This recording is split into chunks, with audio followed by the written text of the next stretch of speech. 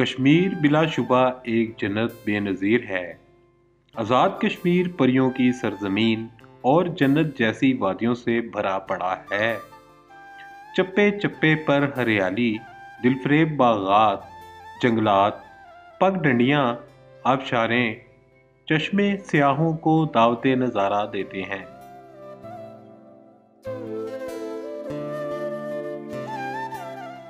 धीरकोट आज़ाद कश्मीर का सियाहती मकाम है, जो अपनी गैर मामूली खूबसूरती की वजह से मकबूल है। धीरकोट को आज़ाद कश्मीर के गेटवे के तौर पर भी जाना जाता है। ये सतह समंदर से 1671 मीटर की बुलंदी पर वाक़ है।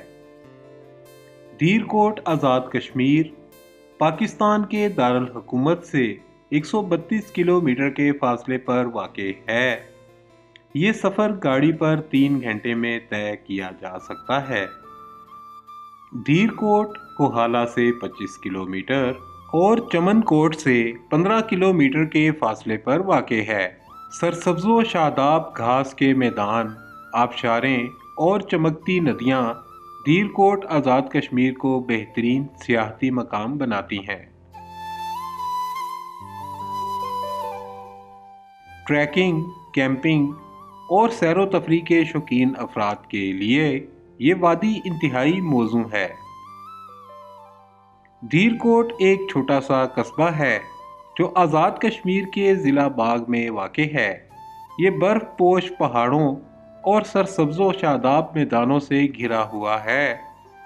धीरकोट में गर्मियों में औसत दर्जा हरारत तकरीबन 25 डिग्री सेंटीग्रेड होता है। जबकि सर्दियों में ये एक डिग्री सेंटीग्रेड तक गिर जाता है। धीरकोट एक खूबसूरत और पुरअमन इलाका है। फितरत के मनाजिर और पुरसकून माहौल से लुत्फानंदोज होने के लिए ये एक बेहतरीन जगह है।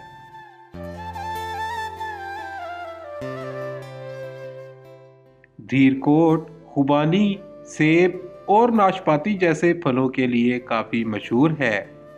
ताहम सबसे मशहूर फल इस जगह के सुर्ख चेरी सेब हैं। धीरकोट में क्याम के लिए होटल्स हैं।